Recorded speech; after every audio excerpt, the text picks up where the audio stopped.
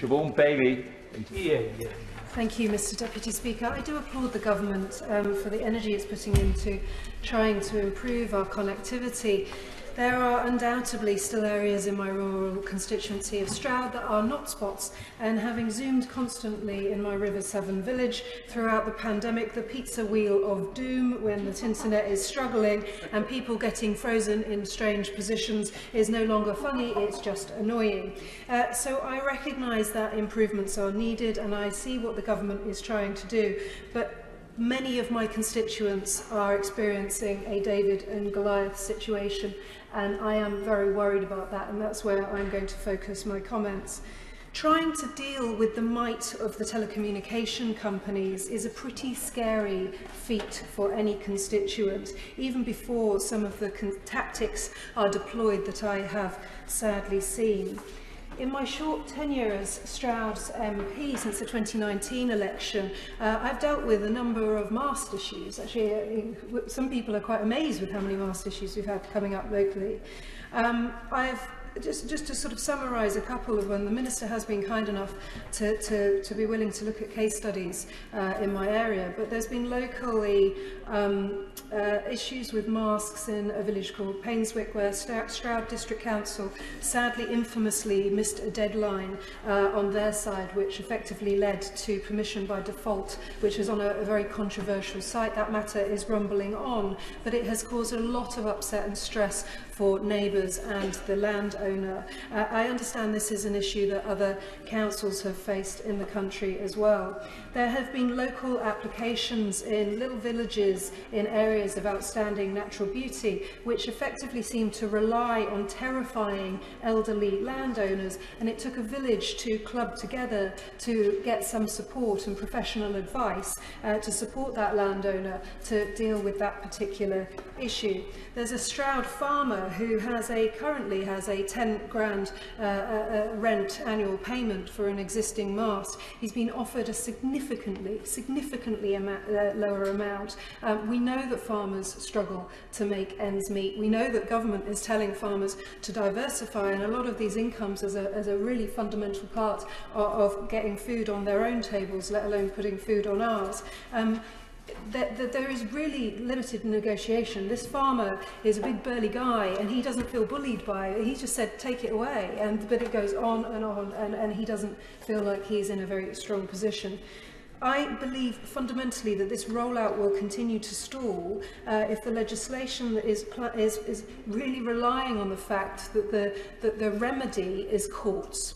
Um, uh, and, for, and, and we know that the courts, so the only remedy is for those that can afford it. Um, disputes have drastically increased stress, uh, frustrations and anger um, have also increased since the 2017 changes and I, I fear it will get worse. Um, looking at where we are now, the Electronic um, Communications Code does grant, it's a bit more technical, grant the code operators the right to access land, uh, to install and maintain apparatus and to seek such rights to be imposed by the court where agreement cannot be reached, as I've mentioned. One of the key changes uh, introduced in 2017 was to modify the pricing mechanism that the court should apply, and as we've heard from colleagues in the chamber, there hasn't been a proper look at uh, pricing and valuation, even in the consultation for this bill. This was a change from the market value um, to realign it along similar principles to compulsory purchase. And we all know how painful compulsory purchase uh, has been uh, for many of our communities, uh, not just in Stroud with examples there. Um, the statutory assumptions to place the valuation um, uh, in the no scheme or network world.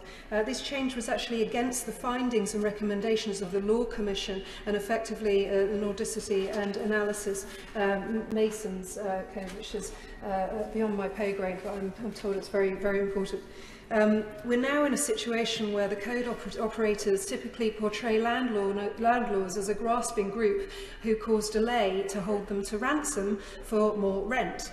Um, this is not my experience. Where uh, the code operators are seeking to acquire new sites, there's actually a range of different reasons uh, why challenges are put up uh, by constituents, uh, by local villages and by local communities. Um, I'll, I'll just give you a few of the common themes that I've uh, come across. High on the list is the potential effects of uh, conflicts with the landlord's own use of the wider landholding and other tenants' activities. Uh, the potential impact on the landlord's own future development aspirations, the visual impact of unsightly and often poorly designed electronic communications apparatus on the wider land, uh, landholding or host building. These, these are high up the list before rent comes into it. Any adverse impacts on neighbours, disputes with neighbours about a mast going up, any adverse impact effects on the marketability of other land or buildings, adverse impacts on the investment value, structural issues and future maintenance of a building the, uh, or a structure on the site, the extent of any extended health and safety uh, drop or fall zones, the implications of a further development granted as permitted development, all of those are on the list. It's not just about rent, it's not just about money. Um, Stroud constituents inform me that the code operators have generally um, sadly uh, proved insensitive and unsympathetic to addressing such issues. Instead, they've interpreted the ECC changes as granting them rights over any third-party land almost for free and on terms that they can dictate to do almost anything at any time. This is the mindset of the entitlement of over private rights and I believe the blinkered belief of digital communications uh, being the only important thing that is influencing uh, decisions. And we know that the code operators are looking to acquire large numbers of sites and to renew hundreds of leases. Um, we know that because of those targets, no doubt, there's process uh, orientated uh, internally and in all, pro uh, all probability, uh, the resources driven by ob objectives and milestones and less about humans uh, and less about the people that it affects. Notwithstanding, I fully accept that we are thinking about humans all over the country when we're trying to improve connectivity, but I am worried worried about the balance. I also find that bullying of local people is not acceptable and no matter how much my Stroud constituents want faster this, that and the other and how much we actually need it to work in many accounts, they do not want their neighbours bullied and they do expect government legislation to be able to protect the weaker party. And I think on any analysis, it will be the constituent landowner and not the telecommunications that is usually the weaker party.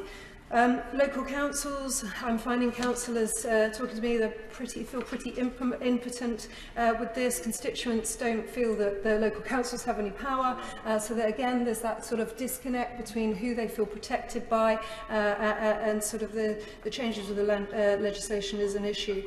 I'll just give you a bit of an overview on the kind of process that the constituents have found. But Mr Deputy Speaker, please shout at me or nod at me if you want me to, uh, to wind up, which I can, because I realise I'm taking some time, but these are important. It starts off with a landlord um, being approached by a site acquisition agent, uh, so not necessarily a company that's well known, uh, seeking to access land to undertake a survey. That request is then accompanied by a, a threat effectively, to gain access via an application uh, to the upper tribunal. Um, this pointed out as being almost impossible to resist in this approach, uh, and the likely cost to the landowner, if there is resistance, uh, will be a vast sum of money. So that's, if you think about the, the elderly landowner, not my big burly farmer, the elderly landowner that's worrying about this.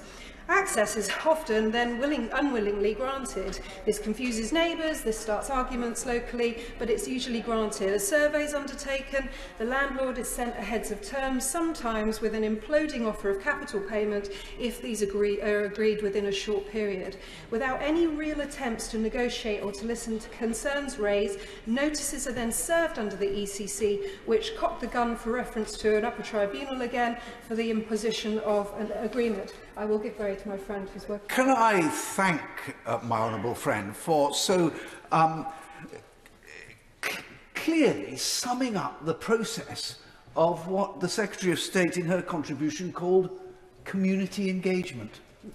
I, I, only wish I was uh, uh, uh, uh, as, as, as, beautifully dramatic and exciting when I spoke because I, I, I, do, I'm conscious I am reading out a list to the Chamber, but this is an important list because this is the experience of so many constituents. It's scary, it's dull, but it's also uh, it's, it's, a, very, uh, a very worrying time for them.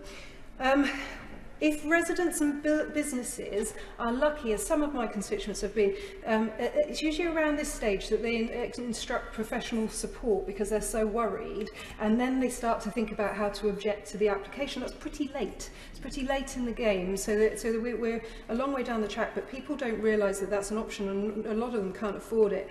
However, in most cases where professional support is provided, what I'm experiencing is they are successful in getting the applications refused. The question also surrounding the lack of investment by the code operators in good quality design, mitigating features such as screening um, or land, structural landscaping, reflecting the arrogant assumption that they can simply pass on societal costs of their development onto the public at large, and claiming say, at the same time that planning is a barrier uh, to de deployment. So all of these things are often lost in that long process before we get help to understand what, what really should be brought into these planning applications. And it's clear that where the planning permission is granted, landlords come under a real threat um, of a reference uh, to the upper tribunal, given the extremely high costs of litigation, quite a lot of people will fold at that point, regardless of the merits of their case. I have to believe that the code operators do not set out to believe in an egregious matter, manner, and I, I've met so many uh, uh, telecommunications companies who too come to consultations, and they're, they're good people, they do want to find solutions, but this is time and again the, the, the programs that the agents uh, acting on their behalf are, are running through. And my fear is that the totality of the changes that we're looking at now, far from redressing the ba balance of power, they tip the scales further in fa fa um, favour of the code operators. And as a consequence, the proposed changes in the bill will actually exacerbate the marketplace issues that are being experienced, um, even if they try to resolve some of the legal um, anomalies. Um, I fear, I'm on to my last bit now, I've lost sight uh, I think we have lost sight, sorry, uh, of the mission, um, which is how best to deploy networks uh, uh, in the most appropriate places and uh, trying to fix the issues we've experienced since 2017 with a, that piece of misused and effectively abused legislation um, that was effectively supposed to be used as a last resort, but is now very much used as a de rigueur uh, by these companies, I don't think is the way to make uh, improvements for these landowners, improvements for the companies, nor is it a way to, to roll out uh, the, the, the improvements that the country wants to see. I would like to know from the Minister um, how the bill addresses what's become the main issue with the framework, which is the way the costs fall on landowners and which have become the, uh, the latest, effectively the latest bl bludgeon to beat them with. Um, the cost of seeking advice is high uh, and, and often the cost of seeking advice uh, will, will, be, uh, will far outweigh any consideration that is offered um, even over a 10-year period. Um, whatever the uh, merits of the landlord's position, to contest any matter in the courts is very costly, and in the extreme costs associated with losing mean that a few, but the largest with much at stake, will be able to take this step, as I've mentioned. But I think we've got to just keep hammering home. I, I, I want to know uh, why, when we have the experiences of things like the water companies, of the environmental uh, uh, fights that are happening all over the country, when we know that um, the Human Rights Act and Article 6 provides the right to uh, a fair hearing, why are we not seeking to strengthen the alternative dispute resolution mm. option and thinking about making it mandatory? I, I, I disagree with my friend, uh, uh learned, right honourable friend on, on, down on the, on the front bench today.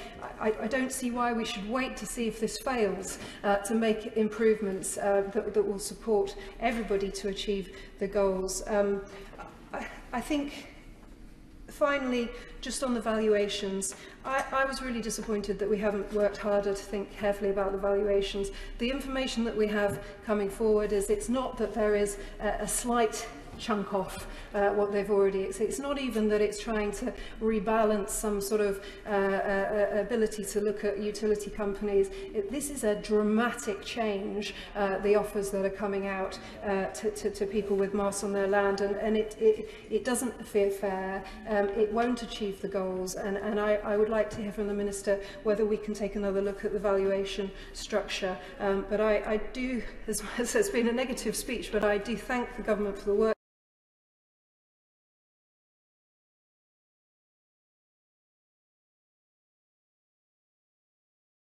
they are doing, but I think we can do better uh, for everybody involved, and I think by doing better, we will achieve uh, some serious connectivity around the country, and particularly in rural areas. Mr